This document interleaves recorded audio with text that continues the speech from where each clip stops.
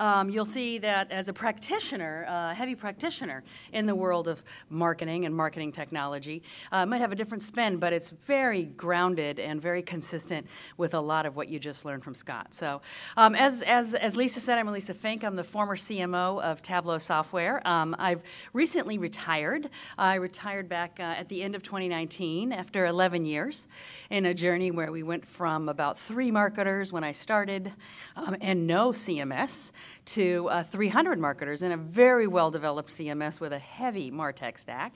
Um, we went from about 5 million in revenue to a billion, um, which was a long journey. And we went from a startup that nobody had ever heard of uh, to IPO to then being a publicly held company um, that was a leader in its space. So over those 11 years, I got to learn a lot. I got to do a lot of things. I got to make a lot of mistakes. I got a lot of smart people that helped me correct those mistakes and do better. And mostly, like I said, I learned a lot. And so um, I wanted to start today with um, my idea of what the secret formula was. Okay, so are you ready for the secret formula? All right, here we go. Secret formula to growth is really quite simple. It's great brands attract prospects, prospe- satisfied prospects become customers, and happy customers lead to community. And guess what? Community amplifies your brand, which then leads to more prospects more community, more brand. It's a compounding uh, formula that we have here, and it's really pretty simple, maybe simpler than you expected, but simple doesn't make easy. And so let's look at it another way. I want to look at it as, the, as a customer journey, and I want to look at it in that context of what marketing does to influence that customer journey. So that customer journey pretty much is, you know, a person is totally unaware of their problem and certainly of your product or service. Then um, through some efforts, maybe they become aware of their problem, they become aware of your customer, so they become an aware prospect. Then there's the whole journey, the next phase of them going from being an aware prospect to getting them to be a signed customer. What are you doing to help them become part of your franchise, part of your organization's customer base? But that doesn't stop there, especially in the world of SaaS and subscription models. It's not enough to just sign them and have them be customers. You also have to make them be successful, to help them go from just customer to successful customer to wanting to be part of your community, to wanting to be part of what you stand for and what you represent. And then again, it's a cycle. It's that compounding factor where the more, the stronger your community is, the more members of your community there are, the more they're talking about you, the more they're influencing unaware prospects, which turns into more aware prospects, and the cycle continues. So, what do we as marketers do? Any of us do in this? Turns out quite a lot. We actually spend a lot of time influencing and directing this journey.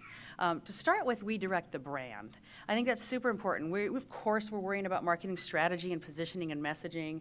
Of course, we're thinking about communications, both externally and internally. But we're also thinking and should be thinking hard about the culture of your company, helping foster the culture. And there's a really good reason for that, and that is because brand and culture go hand in hand.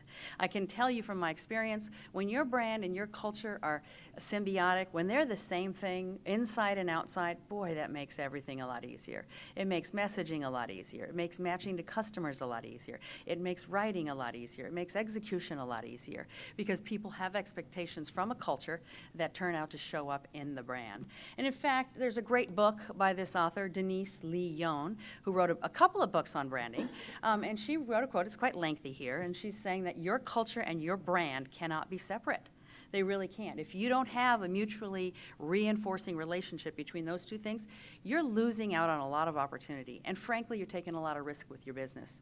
The days when companies could present this brand to the outside world that was much different than the kind of culture they had internally, that used to be pretty easy 20, 30 years ago when there weren't so many channels of communication, where people weren't as transparent with their uh, sharing and with their po- points of view. It's not possible anymore. You're, the world is too transparent. You have to be authentic, and I think Scott describes the need for authenticity, and it certainly shows up that brand and culture must do that together. Now, back to the journey. The next stage is what we're doing to drive that move from uh, aware prospect to customer. In other words, what are we doing to do revenue generation? Whether it's demand generation or working with sales on account based marketing or working to get leads in and get them in the funnel, get them matured, get them to become customers, and make that experience accelerate that sales function. I think Scott identified that that was one of the top things that boards are asking from their marketing is accelerate revenue. Um, and that's what we do in that phase of the journey. We help, we work closely with sales on that funnel, and we drive to revenue. But that doesn't stop there. Getting revenue is not enough. Um, again, in the world of subscription, we have to work closely to make them successful. We work closely with sales and customer success to ensure that customers can be successful at scale. And so we're doing things like helping with customer engagement enable, enablement. In a lot of ways, because of all the marketing technologies we have, we're one of the better organizations in our companies that understands automation and that humanization. Um, we're good at that. Sometimes you see where marketing understands where automation makes sense and where the personal touch makes sense and how you can put personal touches into your automation. So we can make some major contributions in this area. We also are really good at fostering connections. We're good at staying on top of social. We're good on staying on top of how the community is talking to each other, and we're good at monitoring and, and in, enabling that community, whether it's through a social presence or through events. We're making uh, the community connections happen. And again, all of this is a compounding factor to make growth possible. The more you have satisfied customers, the more they enter the community, the more they're happy to be part of that community, the more they amplify your brand message, which by amplifying your brand message gets you more unaware prospects to become aware prospects. So it's really kind of a nice thing. But I really want to talk a little bit more about what's underneath this cycle. What drives this cycle forward? What makes this cycle possible, especially from our perspective as marketers? In my opinion, there are two things that really drive this cycle from phase to phase. What acts as the foundation? The two things that marketing is highly dependent upon are basically data enabling technology and content. Those are the two things. The mastering what I call the virtuous cycle is highly dependent on these two things. We live and die by our data enabling technologies and by the content we put through those data enabling technologies. And you guys know that how important that is.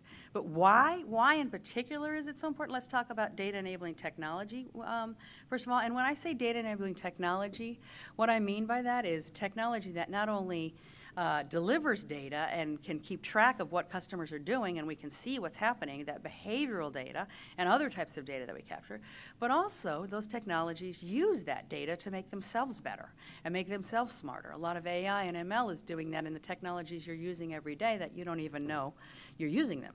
So when I say data, uh, data enabling technology, I mean it both ways. I mean data that gets collected from the technologies, but also technologies that rely on data. And in that definition, as Scott showed us, I couldn't help but resist to show this. I always show this because it's just a fact. We're talking about a ridiculous number of applications and tools and APIs and apps and services and microservices. You call this the MarTech 5000 for convenience, but I know you said it has sev over 7,000. Um, boy, it's just an incredible amount of uh, complexity and technologies that we're facing. And even though it uh, shows that people use 5,000 and there's really 7,000, most of us aren't even skimming the top of that. I don't think there are very many organizations using 700. Now, certainly a lot of us are using 200 or even 100, and I think you said the average was 91. But even small companies are using dozens. And so it's really important that we are able to organize these data enabling technologies into our version of a platform, or what we might commonly call the MarTech stack. In fact, when, uh, when we were just chatting, Scott and I before, we were talking about whether the MarTech set of technologies is really a platform or not. They're pretty loosely coupled, they're pretty loosely integrated, sometimes not so great. So I thought, no, it's not really a platform. Scott's right, it's really more of a stack. But it's important because it's letting us do things that we could never do before. The MarTech stack is the foundation of everything, you know, whether it's the, when we're collecting that data, to the integration of it, to the ability to store it and make sense of it, to presenting it so we can orchestrate better marketing activities through the channels we need to be in to ultimately get to the customer. This has completely changed our practices and our capabilities. And the other thing that it's done is all this data enabling technology has radically changed how we build brands, demand, and communities. It's radically changed it. 20, 30 years ago, before the internet, you know, you pretty much placed print ads in magazines, maybe some industry newspapers. You went to some trade shows, maybe you sent direct mail, and you probably hired some appointment setting firms to call people and relentlessly call and annoy people. But it's changed now. Oh, it's, all, it's not how any of these brands did it, and I bet you money most of your companies, it's not how you built your brands either. Because what we're doing now is we're relying on technologies or capabilities now that, that, that enable us to talk and get in front of prospects in different ways. Whether that's social media and the community, the way that Netflix has such passionate lovers of their original programming that you can, you can connect to, or whether it's digital ad channels uh, that are happening, things that people like Google, of course, with all we can do with Google, Google. But even Amazon has completely changed the way that uh, people present themselves in digital advertising. And now Amazon itself itself has become an advertising platform. Um, then it's incredible how people have taken experiences. We're building experiences that move from online to offline pretty seamlessly. Uber is a great example. No matter what you think about their brand, they've given you a digital experience. Then you get an in-person experience that's also digital maybe while you're in the car, and you get out of the car and you're back to being an online experience, a digital experience. Pretty seamless. The Tesla buying experience is a lot like that as well. And then, of course, these organizations, our technology has enabled us to tell stories very differently. The old days, you, you tried to hit up a media writer and you tried to convince them of your point of view, and then they wrote a static article, they printed it in offline media, print or newspaper, and that's pretty much how it happened. But now we can tell stories.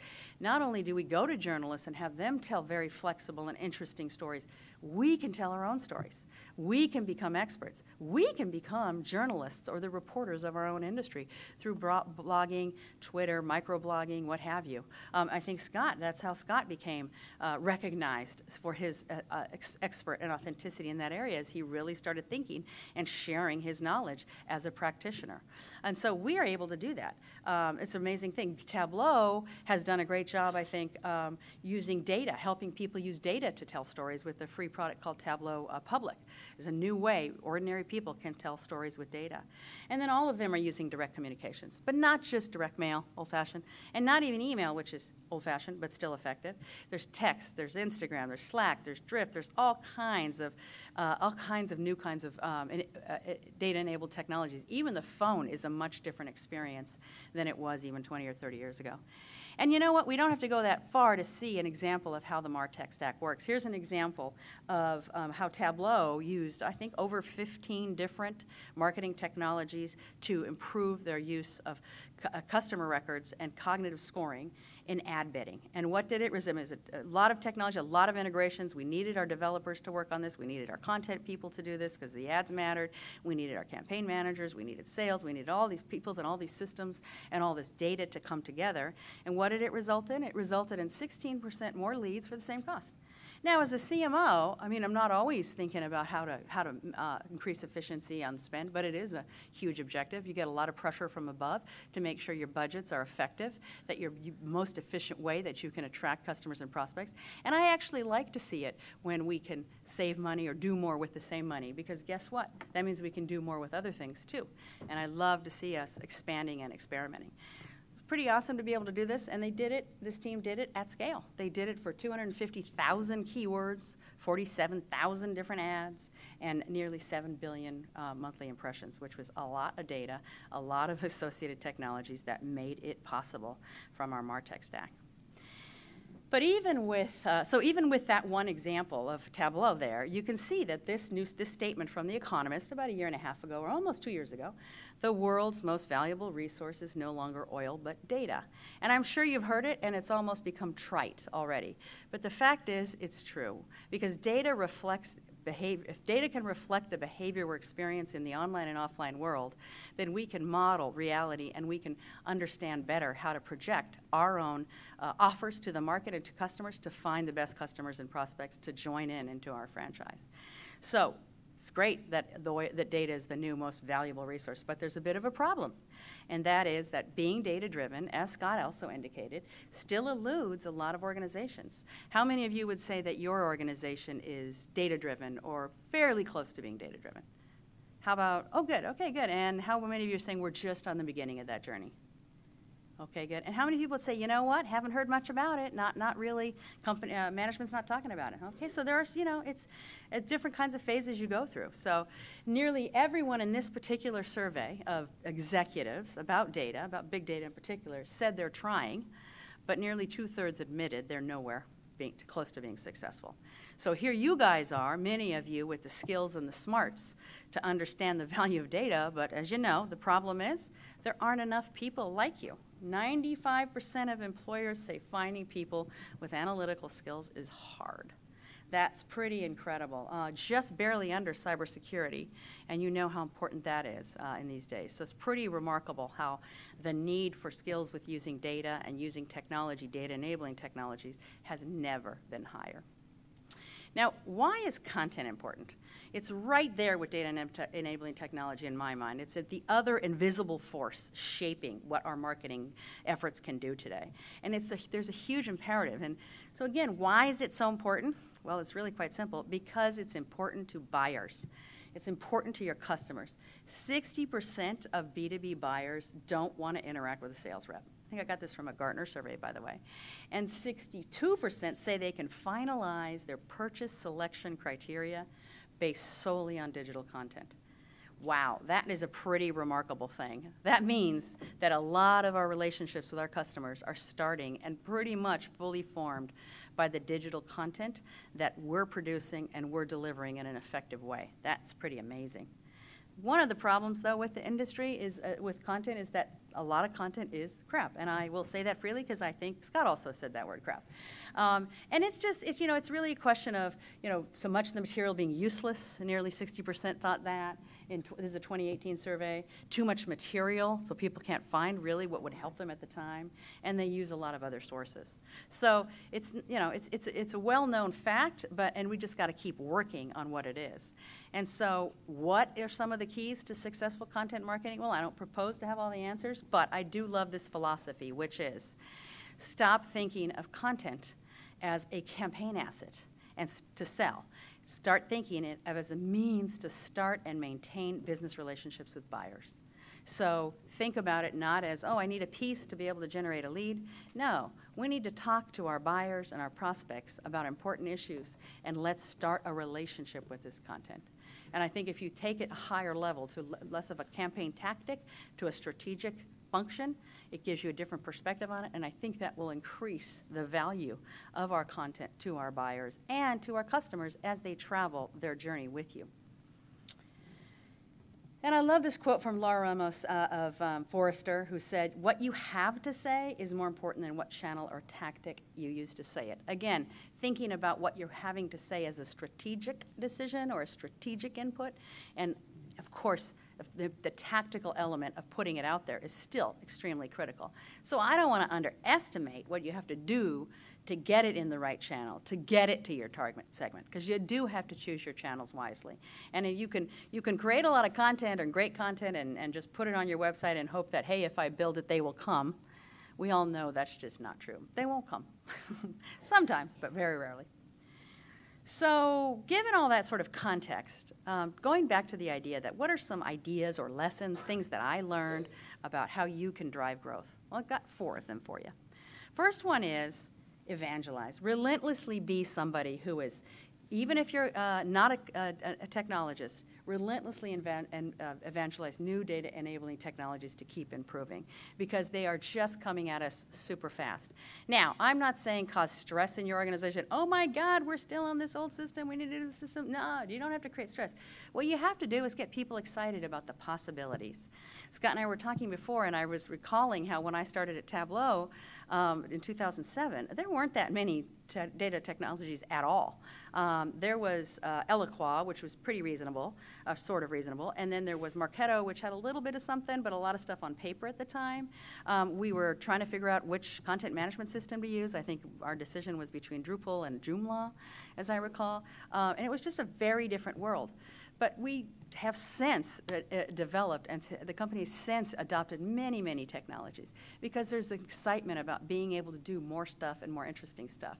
So helping your organization have a positive attitude toward growth, keeping an open mindset about growth, about technologies, is very positive things you can do. Now, sometimes you might get frustrated with your leaders, with your CMO or your heads, because it seems like they're not listening or they're not going fast enough. Just be a little empathetic because they're trying to fight the good fight, and it takes a lot. The larger organization is, the more you need some governance from IT and integration with a bunch of other apps that you don't even know the company's using. They need your positive thoughts and positive energy and enthusiasm for new ways to get things done.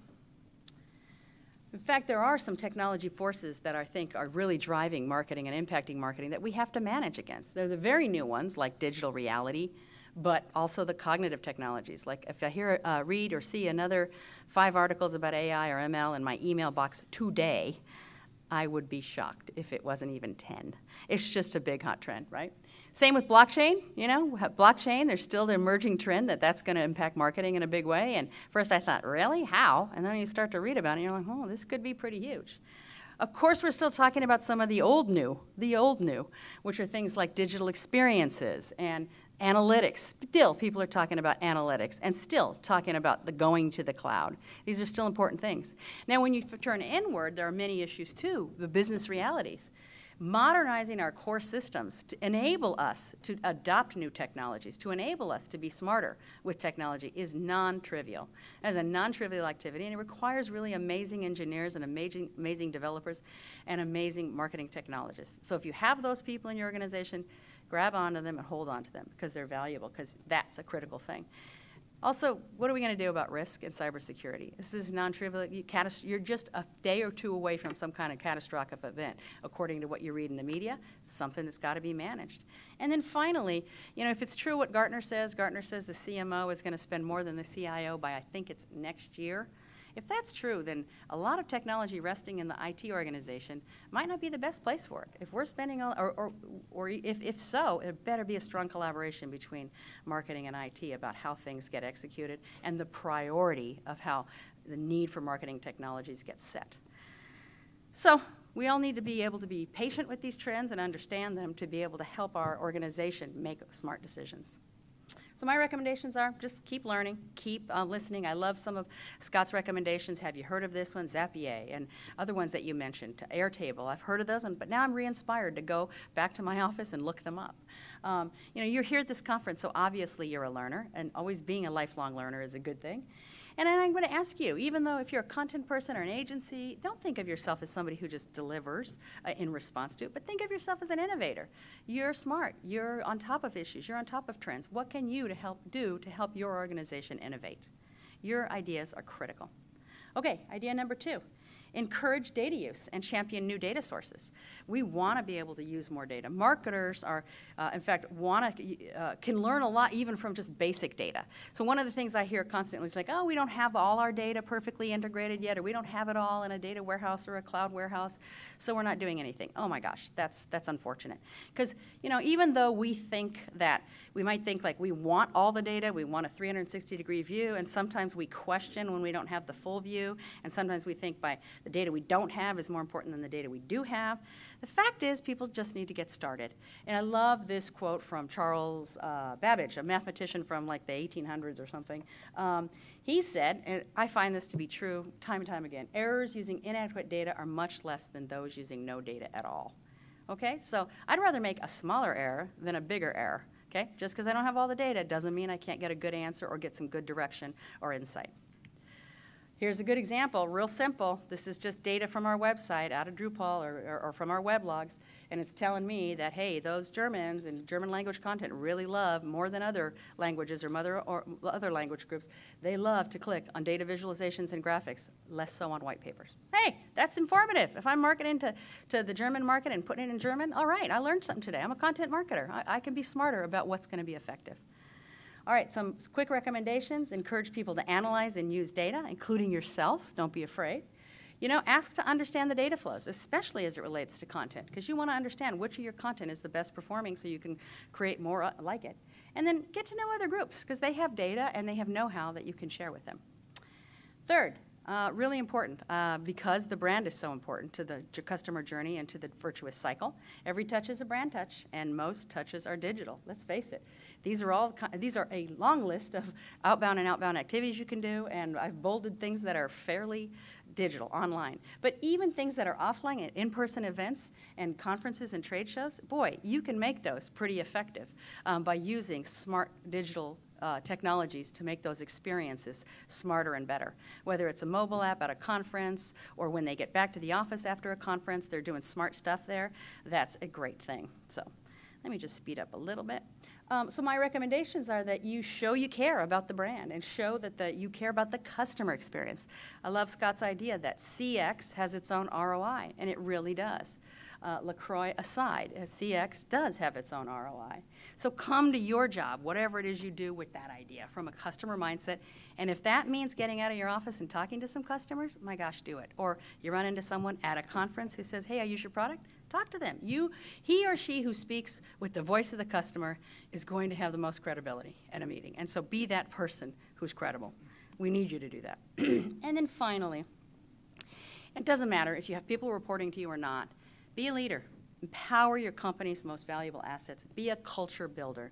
When you're a culture builder, you're a brand builder. And that is going to be a very valuable thing to the virtuous cycle, as we already saw. The other huge benefit is that if you're a culture builder and you're attracting great people into your team, great people around you, it will help you accomplish the difficult path of growth because people really are the differentiating factor.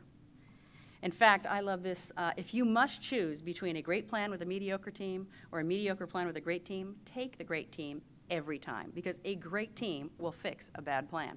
A mediocre team, hmm, probably can't even execute a great plan.